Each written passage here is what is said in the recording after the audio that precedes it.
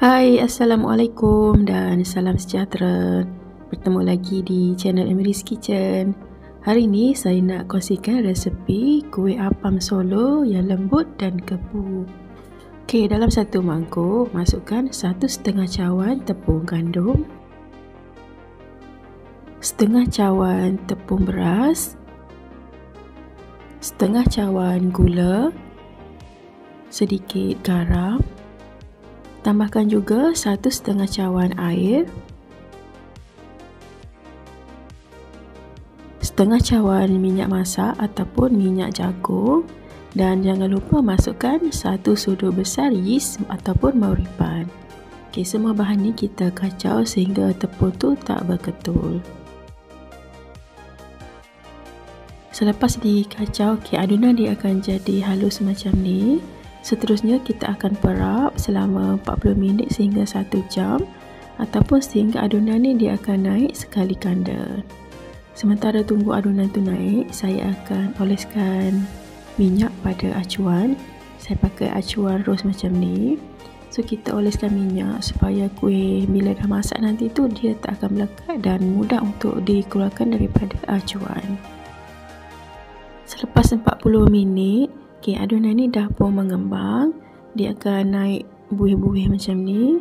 Okey, kita kacau. Bahagikan adunan kepada beberapa bahagian mengikut warna yang kita nak.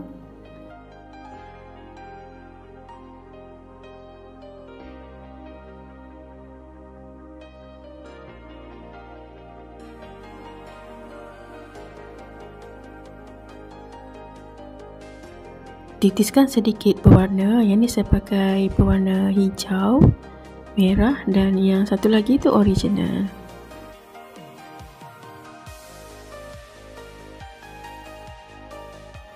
Kacak adunan ni sehingga semua warna tu dia akan sebati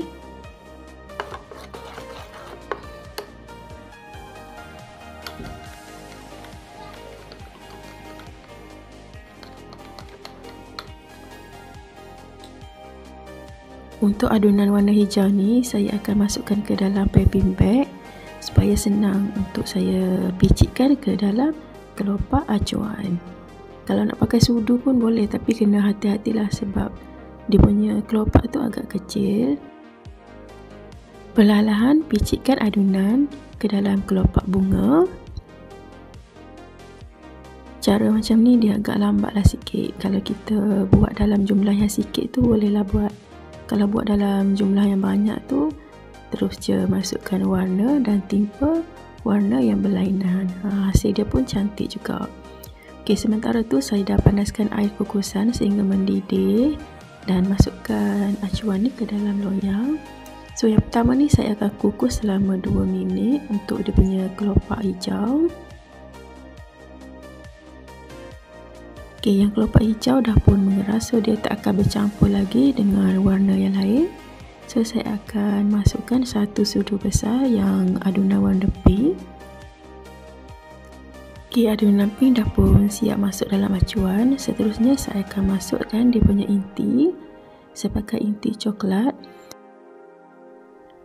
Masukkan inti ini terpulang kita nak masuk banyak mana kalau pakai inti kacang merah ataupun kelapa pun sedap. Kalau pakai inti coklat yang macam ni ni dia punya inti tu bila dah masak dia akan cair. Seterusnya bolehlah timpa adunan yang seterusnya. Ni kita pakai yang adunan original. So kita isilah sehingga penuh acuan. And then kukus lagi selama 15 minit pakai api yang sederhana besar Okay, kuih apam dah pun masak and then sejukkan seketika. Keluarkan kuih daripada acuan. So, senanglah nak keluarkan sebab kita dah sapu sedikit minyak tadi.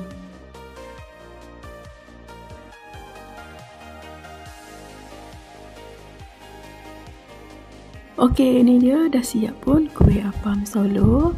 Saya nak cuba satu. Dia punya tekstur tu memang sangat lembut dan gebu dan rasa dia pun sangat sedap sebab masukkan inti tadi tu. Ha, senang kan nak buat apa ni? Untuk resepi ni boleh dapat lebih kurang 15 biji kuih pakai acuan yang bunga ros. Okey, itu saja perkongsian pada kali ini. Jumpa lagi pada video yang akan datang. Bye.